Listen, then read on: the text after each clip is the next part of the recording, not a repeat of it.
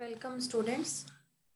Uh, today we are going to start the next unit that is unit 3 electronic data interchange is the main topic that we are going to discuss today. So uh, what exactly electronic data interchange is? EDI and it is the short form for electronic data interchange. It is a subset of e-commerce. E-com subset का मतलब है कि e-commerce का एक part है EDI.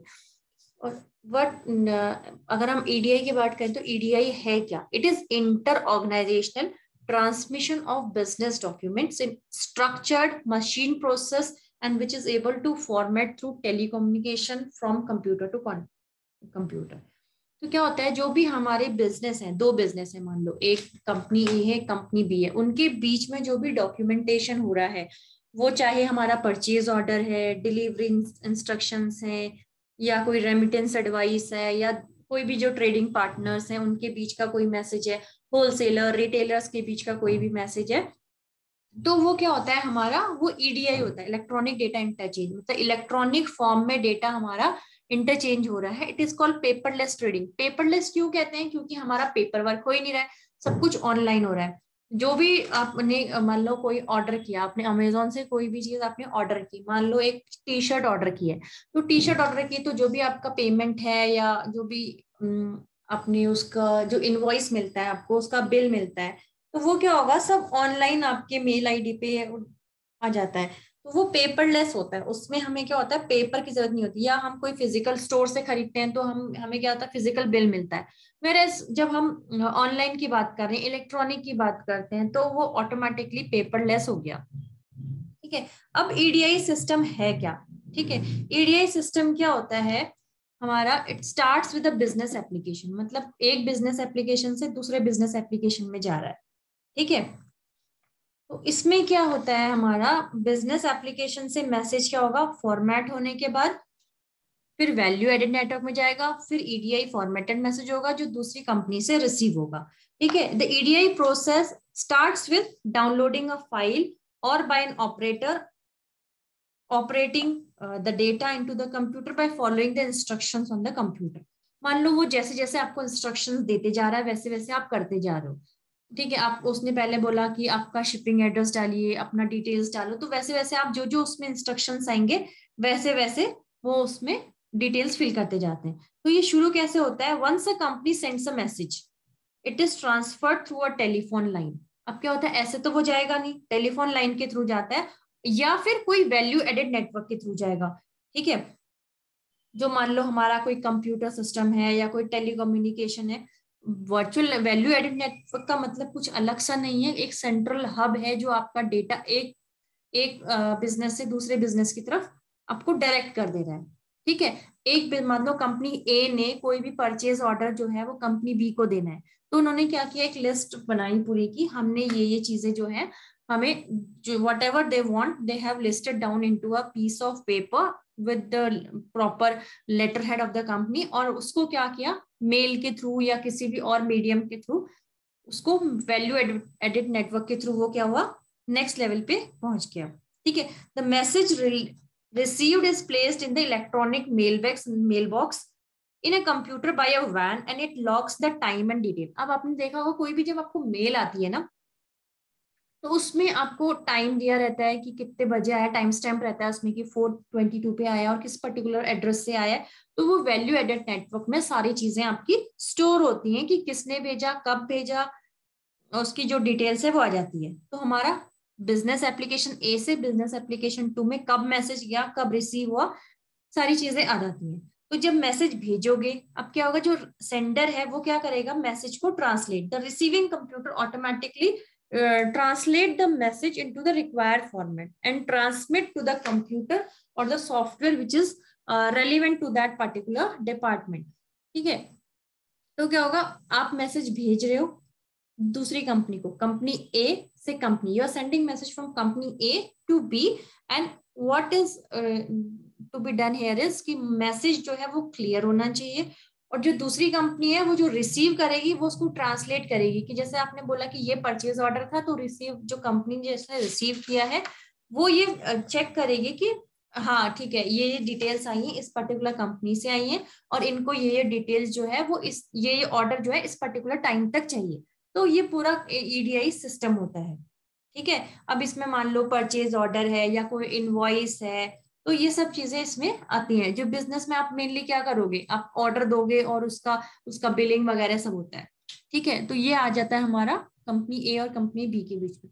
अब हम बात करते हैं कि इसके एडवांटेजेस क्या है। इलेक्ट्रॉनिकली हम डेटा भेज रहे हैं। मतलब मैंने इलेक्ट्रॉनिकली ऑर्डर प्लेस कर दिया तो इसका क्या फ़ायदा है? What are the benefits of using this electronic media ठीक है? तो first if we we will go one by one first we will see reduce time delay how uh, time will be reduced the two main reasons here are like if uh, we talk about कि मान लो मुझे कोई post करनी है ठीक है I want to pay post some paper या आप लोगों ने मुझे कोई असाइनमेंट सबमिट करना है see you want first you will type और write whatever is the uh, instructions given you will send me through post and you will send me through email which will be faster. Obviously, the one which you have sent through mail will be faster because it will take time or it will take days to transport from one location to another location, which causes delay.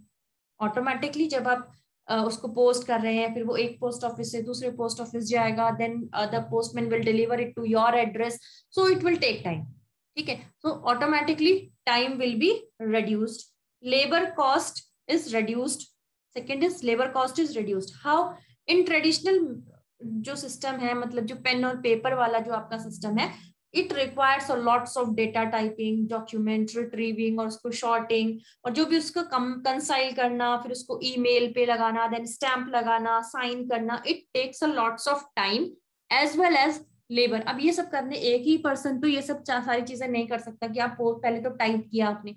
Type करने के बाद आपने data क्या किया? Store किया, एक proper envelope लिया envelope purchase किया उस पर सील लगाई, उस पर आपने स्टैंप लगवाई देन उसको साइन कराया, जिस भी अथॉरिटी से करवाना है then it it went to the final destination so it takes lots of labour and time तो हमारा दोनों रिड्यूस हो गया time and labour as well अब एरर फ्री जो नॉन ईडीआई सिस्टम होते हैं देर लॉट्स ऑफ़ जहाँ मैनुअल आ जाता है, वहाँ एरर ऑटोमेटिकली आ जाता है।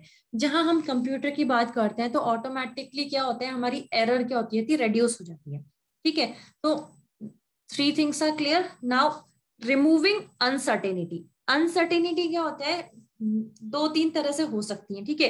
फ़र्स्ट की पेपर ट्रांसपोर्टेशन कि मान लो हमने पेपर के थ्रू किया, अब वो कहाँ पहुँचा, कितने टाइम में पहुँचा, उसकी अनसर्टेनिटी है। Although it is shown that हम स्पीड पोस्ट में कहते हैं कि वो जल्दी मोस्ट सेवेंटी टू आवर्स या में वो डिलीवर कर देगा थ्री थ्री डेज़ पर ऐसा most of the time possible नहीं होता है। जो टाइमिंग होती है वो इससे ज़्यादा ही रहती है। बहुत कम अगर, जो डिस्टेंस अगर बहुत शॉर्ट है इन दैट केस ही वो टाइम पर पहुँचता है तो ट्रांसपोर्टेशन डिले हो सकती है। दूसरा मान लो मैनुअल डिले एक पर्सन है जिसने काम करना है, वो छुट्टी पे चला गया है। ठीक है? तो it takes lots of time कि दूसरा second person will come and take charge for him and then he will do the work so it takes lots of time ठीक है? तो इस there is lots of uncertainties there और एक बार receive हो गया, ठीक है? बहुत सारे लोगों को पता है कि you can track with the consignment number you can check where your जो भी पोस्ट आपने भेजी है वेर इट हैज़ रीच्ड आप चेक कर सकते हो कि वो किस, पर most of the people those who are using that paper system traditional system उन्हें नहीं पता कि इस तरह से हम ऑनलाइन जाके चेक कर सकते हैं और जिस पर्टिकुलर डिपार्टमेंट में या जिस पर्टिकुलर पर्सन को हमने ये डेट भेजा है, उसके पास वो डॉक्यूमेंट पहुँचा भी कि नहीं पहुँचा? ठीक तो अनसर्टेनिटी यहाँ पे बहुत ज़्यादा है। देन हमारा आ गया रिड्यूस्ड इन्वेंट्रीज हमारी क्या होगी? बहुत ज़्यादा इन्वेंट्री यहाँ पे क्या होगी? रिड्यूस हो गई, क्योंकि इसमें हमें इन्वेंट्री मतलब क्या होता है? स्टोरेज अब पेपर है तो बहुत सारा एक एक बंच दूसरा बंच तीसरा बंच बंच बंच क्या हो जाता है? इकट्ठे होते चले जाते हैं। लेकिन हमारे पास अगर हम ऑनलाइन की बात करें तो हमारे पास कोई पेपर वर्क नहीं है। सब कुछ क्या है? क्लाउड में मतलब ऑनलाइन आपका नेट पे स्टोर्ड है। तो उसके लिए कोई हमें एज सच स्पेस इतनी स्टोरेज की कोई कमी नहीं होती। तो यहाँ पे हमारी जो वर्चुअल मीडियम होता है, उसमें इन्वेंट्री की रिक्वायरमेंट कम होती है। देन आ गया इंफॉर्मेशन एक्सेस अब जब आपके पास ऑनलाइन मीडियम है तो आप क्या कर सकते हो? You can access to a vast amount of data of detail transaction कोई भी आपको डेटा देखना तो आप ऑनलाइन उसको जाके इजिली एक्सेस कर सकते हो और इजिली आप कंप्यूटर के थ्रू उसको रिट्रीव कर सकते हो। ठीक है? अब यहाँ पे देखते हैं क्या हो रहा है। एक टिपिकल मैनुअल प्रोसेस किस तरह से हो रही है with lots of paper work यहाँ के वह बायर ने परचेज ऑर्डर जनरेट किया, फिर फैक्स करा, ठीक है? Supplier enters the order into the internal system ठीक? फिर उसको क्या हुआ? उसको प्रिंट करा इनवॉइस को। ये उसका इनवॉइस है, फिर उसको फैक्स किया। तो यहाँ बायर ने किया, फिर यहाँ सप्लायर ने उस पर जो भी एंट्री थी वो करी। फिर यहाँ फैक्स किया, फिर बायर सेंटर्स इनटू द तो यहाँ पे क्या रहा? अब देखो कितना लंबा चेंज आ रहा है। यहाँ से यहाँ, फिर यहाँ फिर यहाँ गया, फिर यहाँ गया, फिर यहाँ गया। So it taking lots of time अगर हम मैनुअल की बात करते हैं उसमें बात करते हैं एडीआई की तो ये बहुत छोटा सा है। सी यहाँ से गया और यहाँ से वापस आ गया। इधर गया, इधर से इसने जो भी परचेड ऑर्डर था, यहाँ से सीधे इन्वॉइस करते हुए वो वापस आ गया। तो बहुत शॉर्ट है। सब कुछ हमने एडवांटेजेस हमने इसके देख लिए। ठीक है वर्किंग कॉन्सेप्ट की बात करते हैं कि ईडीआई में क्या क्या क्या क्या होता है? ठीक है ईडीएस का जो प्रोसेस है, उसके लिए हमें मेनली जो हमें जो स्टेप्स फॉलो करने होते हैं, वो क्या है? सबसे पहले हो गया हमारा preparation of documents electronic documents mainly ठीक है तो फ़र्स्ट स्टेप में क्या हुआ कि जैसे मान लो कोई भी एक कंपनी है एबीसी कंपनी है उसका कोई भी इंटरनेट एप्लीकेशन है, वो क्या करेंगे? Instead of purchasing the instead of taking print out of the purchase order कि उनका जो भी ऑर्डर है, वो क्या करेंगे? इलेक्ट्रॉनिक फ़ाइल बिल्ड कर देंगे उसकी। ठीक है? Electronic file means M S word पे किया या पीडीएफ के फॉर्म में उसको बना लिया।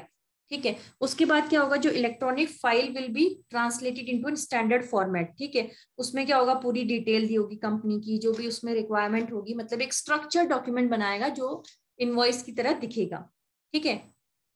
जो ये हो गया हमारा आउटबाउंड ट्रांसलेशन ठीक है? सेपरेट फ़ाइल होगी मैन्युफैक्चरर के लिए, ठीक है? देन हो गया हमारा कम्युनिकेशन नाउ जो एबीसी कंपनी है will automatically make a connection with the value added network अब क्या होगा? फ़ाइल ट्रांसमिशन करना है, ठीक है? फ़ाइल ट्रांसमिशन के लिए क्या होगा? पहले कनेक्शन बनाएँगे वैल्यू एडेड नेटवर्क में और फिर ट्रांसफ़र फ़ाइल करेंगे। जो हम, जो भी फ़ाइल हमने ट्रांसफ़र करनी है that we will prepare and each file will be process by the जो हमारा वर्चुअल नेटवर्क है और कहाँ रूट करेंगे जो भी हमारा, जिसको भी हमने वो सेंड करना है, ठीक है? हमने ऑर्डर किया तो हम ऑर्डर किसको करेंगे? जो उसका जो उस ऑर्डर को मैन्युफैक्चर कर रहा है, ठीक है? तो पहले हमने इलेक्ट्रॉनिक डॉक्यूमेंट बनाया, फिर हमने उसको स्टैंडर्ड फॉर्मेट में बनाया देन कम्युनिकेशन में हमने उसको ट्रांसलेट कर दिया इनबाउंड मतलब इन अंदर अंदर आया मतलब मैसेज आ गया। अब हम बात कर रहे हैं मैन्युफैक्चरर की। अब मैन्युफैक्चरर रिट्रीव द फ़ाइल जो भी उसकी मेल बॉक्स में मेल आई है, उसने उसको रिट्रीव कर लिया अकॉर्डिंग टू द कन्वीनियंस जो भी उसकी कन्वीनियंस है, उसमें जब जब उसको टाइम मिला, तब उसने अपनी, ऐसा नहीं है कि उसको जिस टाइम मेल आई है, उसी टाइम पे मेल चेक करनी। According to the convenience of the manufacturer he can retrieve the mail ठीक है? फिर क्या होगा? उसको वो ट्रांसलेट कर देगा एक स्टैंडर्ड फॉर्मेट में।